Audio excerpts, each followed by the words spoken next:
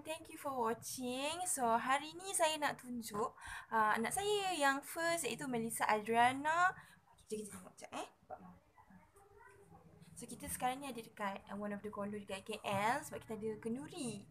So Okay, sekarang ni mood dia tengah baik. So this is Melissa Adriana. Tengok kamera man. Tengok kamera. Tengok kamera. Ni anak saya. Anak first saya. So semua orang mesti nak tengok suami saya kan. Bang cepat cepat bang. Cepat bang. tu suami saya dia tengah mengasuh anak. Biasalah bagi peluang kat saya sebab saya nak, dah lama nak buat video dan nak tunjuk Melissa Adriana. So this is the opportunity lah sebab ada orang tengok dia kan. So adalah masa untuk saya buat video. Okay. So kali ni uh, Mel dia dia macam ada kolik kolik simptom tu tapi dia bukan jenis yang seorang tangis lah. Kolik um, bermaksud seorang tangis tapi dia bukan penyakit yang dia semua uh, satu yang biasa je. Tapi kita kena uh, faham kita kena tahu. Mula tu memang koyak mental juga nak jaga dia.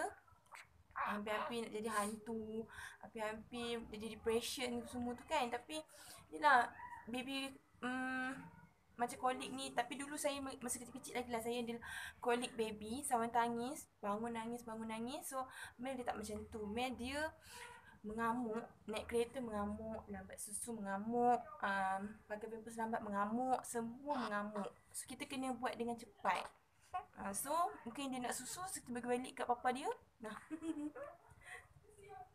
Okay. Sebenarnya saya nak make up. Saya nak make up sebenarnya. Tapi Ah, tengok dia dah bunyi dah. Tu su- suara dia lah, tu suara dia.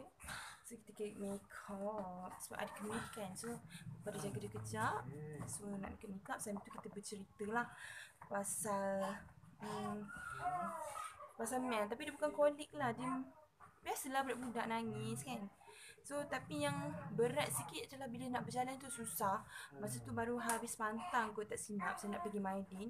Belum sampai ke atas dia dah melalak sebab kita try letak dia dalam carrier tu tapi dia tak suka. So hmm, kita punya apa orang kata? Kita punya aktiviti tu macam susah sikit lah kan. So tapi kita tak putus asa kita paksa juga. Kita kita nak ajar dia supaya dia lebih orang kata apa tu biasa lah dengan orang kata apa tu? Eh, eh, saya ingat saya tak rakam rakam Okay, kita nak bagi dia biasa dengan uh, environment kat luar supaya dia tak perak orang kedah kata. Hmm. Kan? So, um, alamak, lupa nak pakai base. Kau tahu tak, dah 9 bulan saya tak make up. Lepas tu saya dah lupa macam mana nak make up. hmm, tak apalah. Tak apa, tak apa, tak apa sebab saya dah dah uh, saya lupa nak pakai base untuk uh, primer semua tu tapi tak apa saya dah pakai moisturizer sebelum ni. Letak sikit moisturizer sebab panas kan. Campur je lah.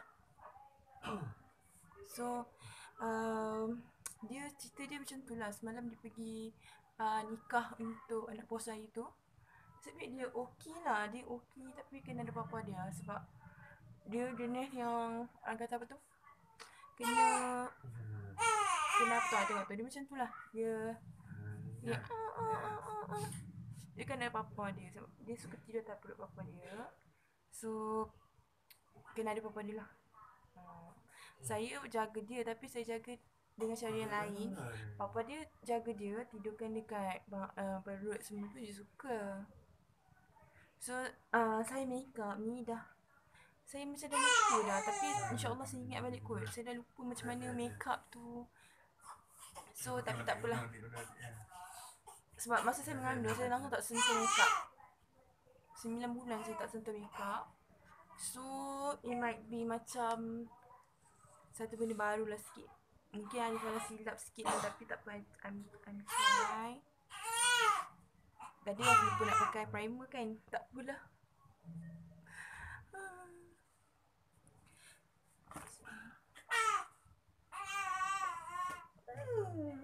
So uh, dia punya perangai dia masa baby Masa lepas pantang dia uh, Dia orang kata Dia senang nak jaga Dia tak tunjuk taring lagi. Dia senang sangat. Jaga sebab dia kuning Dia ada jaundice tapi sikit je lah. Uh, dalam hari keberapa tu dia 11 lepas tu dia turun pada 10 8 7 dan akhir sekali 4 so macam kita um, bagi dia macam-macam saya makan anggur untuk uh, turunkan kuning dia melalui breastfeed kan. So uh, turun turun alhamdulillah turun. Lepas tu kita bagi formula juga membantu sebab susu saya tak banyak. So um, dia okey lama-lama tu bila pertengahan pantang dia jadi macam mengamuk-ngamuk. Every night mesti mengamuk. Sampai mata saya berkak-bengkak tak cukup tidur semua. Husband pun dia kerja pun mengantuk. Orang dia pergi kerja bayangkan saya berpantang dia semenyi. Tapi uh, orang kata apa? Uh, ulang alik ulang alik lah. Uh, semenyi seremban seremban semenyi so macam perjalanan agak jauh juga dalam 45 minit. Tapi bahayalah kalau you mengantuk you drive kan. So kita ada juga pergi jumpa orang-orang yang pakar macam uh, traditional punya uh, bidan kan. Bidan tu memang orang kata pakai kanak-kanak. Tapi bila dia cakap Mel tak ada sawan tangis ke? Mel tak ada apa punya ikut ke? Benda-benda halus ke? Tak ada. Cuma memang ragam dia macam tu So ragam ni akan hilang. Tapi You kena sabar lah Maybe on uh, 3 month ke 4 month ke kan. Tapi hopefully dia cepat lah kan. Sebab Sebab dia lah kita tak nak lah anak kita meragam kan. Kita nak anak kita tu elok kan. Kecuali kalau dia meragam dia nak susu ke dia uh, berak ke apa ke kan hmm. so bila dah jumpa buan tu buan tu cakap kembung. Kembung pun tak ada. So tak apalah lega dah kat situ kan. Cuma ragam dia, ragam budak, ragam baby. So bila sebenarnya saya ada satu buat research um, Pasal uh, pasal baby ni kan. So macam dia cakap uh, baby memang macam tu. So you kena sabar. Sebabnya sebelum ni dia biasa berada dalam alam rahim. So alam rahim ni Mana pula punya So alam rahim ni dia orang kata apa? Dia um, Apa? Dia sangat bising. Dalam dia sangat bising. Lepas tu dia Orang kata apa? Dia biasa melipat-lipatkan badan semua. Tiba-tiba keluar. Macam you lah You. Tiba ada kat dunia. Tiba-tiba esok dia bangun ada kat hutan. You hati susah tak? Ha, Macam tu lah baby. Baby memang macam tu. So dia nak biasakan diri dia So dia dia take time. So dia cry Papa dia dia tak apalah. So Okay itulah pasal kulit baby. So kejap lagi kita sambung lagi. Saya nak make up dulu. Tapi saya nak tengok dia kejap eh. Okay, so baby dah tidur and uh, continue about the colic baby tu. Tapi baby I tak bukan colic lah. Dia macam simptom yang sama tapi dia cuma dia ringan sikit lah. So baby tengah tidur. So kita memang buka white noise untuk dia. White noise untuk dia. Sebab dia rasa lebih tenang dengan white noise tu. Okay. So kita buka dia pun Sekejap eh. Sekejap saya tunjuk korang